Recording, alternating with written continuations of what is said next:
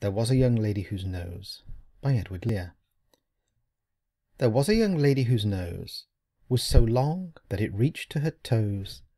So she hired an old lady whose conduct was steady to carry that wonderful nose.